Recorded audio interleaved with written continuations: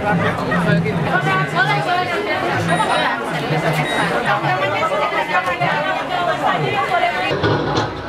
Abu Asir, Wakil Bupati Oku Selatan, hadiri peringatan Hari Pers Nasional yang digelar langsung di Danau Cimpago, Pantai Padang, Sumatera Barat tersebut dihadiri langsung oleh Presiden Republik Indonesia Joko Widodo, beberapa duta besar negara, sahabat, dan para menteri.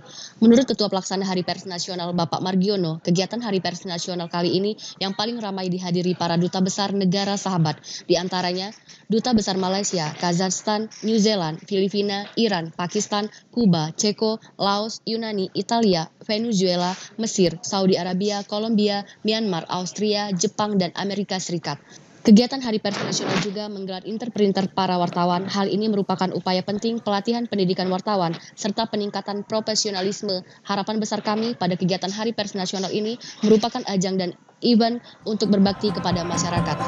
Alhamdulillah artinya dengan mengikuti acara ini banyak yang kita petik ya keberhasilan-keberhasilan daerah yang dapat melaksanakan suatu kegiatan besar berskala nasional.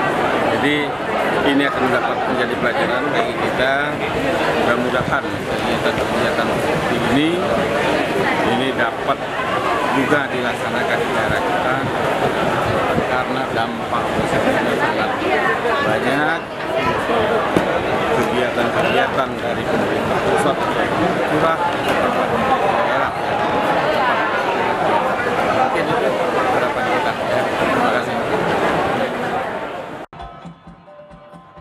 Dalam acara tersebut, wartawan yang tergabung dalam PWI Oku Selatan ikut hadir dalam peringatan Hari Pers Nasional di Sumatera Barat.